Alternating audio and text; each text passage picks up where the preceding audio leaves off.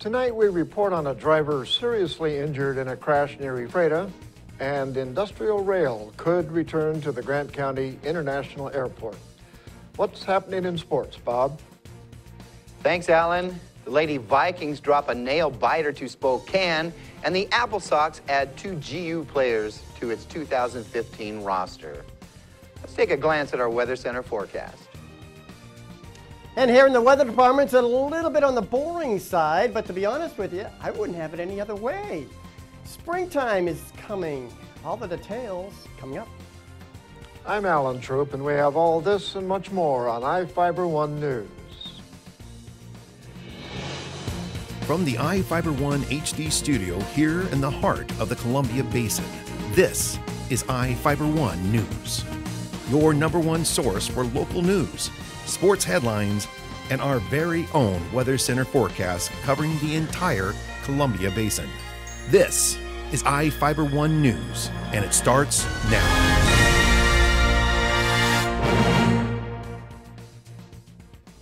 Moses Lake resident David Crowell was identified as the driver seriously injured in a crash Tuesday morning near Ephrata.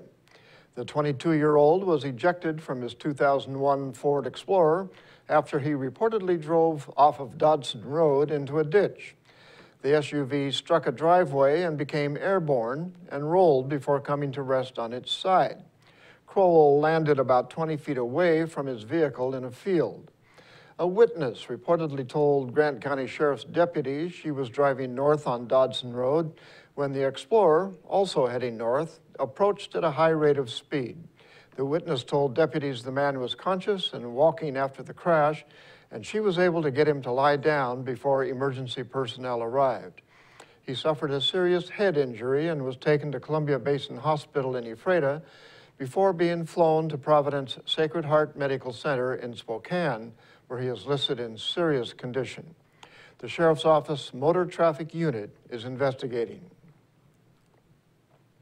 Students in the Computer Science Department at the Columbia Basin Technical Skills Center are learning how to design and build their own video games from the game's artwork to its presentation. Reporter Devin Higgins has the details.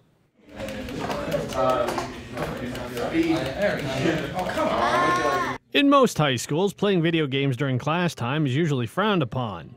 In the Columbia Basin Technical School's AP Computer Science Department, though, it's not only encouraged, it's mandatory. Sitting there animation. The program was designed in collaboration with the Redmond based DigiPen Institute of Technology as a way to educate the next generation of computer software engineers and game designers. Students collaborate to design and build their own games, including the artwork, music, and presentation. Dr. Terry Pixley runs the department and says while students use games to learn, it's about much more than that. Well, actually, this is an AP computer science class. And um, I think that they had tried some things like this up at the high school, but you know, it's really hard because it's difficult course. And so they had gone with DigiPen and they were working with a project fun. And yes, I know video games sound like all we do is sit here and play video games, but the focus is on learning how to code. Coding is the new literacy, it's the literacy of the future. So you can use this coding in a, in a vast number of careers engineering, medical, military um, anything that requires a simulation. So, yeah, they're but they they're learning video games, but they have to code those video games. These kids are going to be the makers of technology, not just the users of it. They can take this into college. They're getting their third year math credit. They can get an art credit. They can get CTE credits. Um, the sky's the limit in here.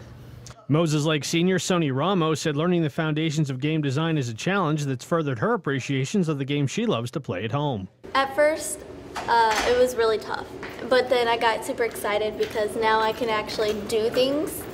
And even though it's not much, and some people will just like put it to the side because it doesn't look like much at all and stuff, but actually it's it's pretty interesting because it's like you're making something out of nothing and it's exciting. When you're you see those giant games, Battlefield and stuff, you're just like, oh my gosh, this would take forever. If I'm at my standing right now trying to make a giant game like that, it just blows my mind away.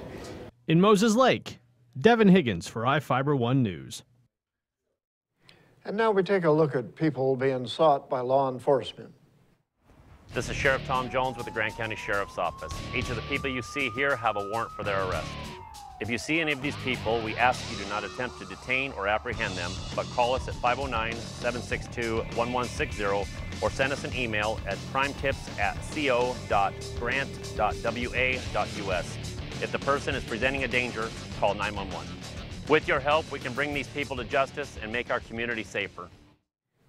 Short break, we'll be right back.